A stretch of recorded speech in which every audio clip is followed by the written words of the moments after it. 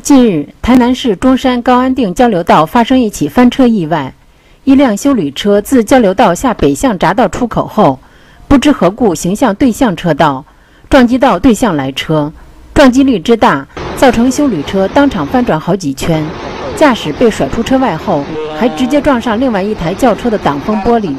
修旅车驾驶被抛出车外，全身是血。后被紧急送往医院抢救，现场修理车飞散的车体零件散落一地，还飞撞到其他车辆，共有两车遭波及。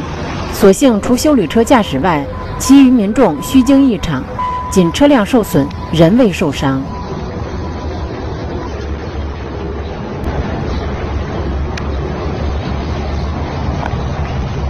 他来车是停下来让他撞的，哦，他是停下来停止中的，对，他是停止中让他撞。哦，因为他看到已经来不及，因为他刚好卡在正中间，他不知道前面。那照这这辆，当时车速很快的哦。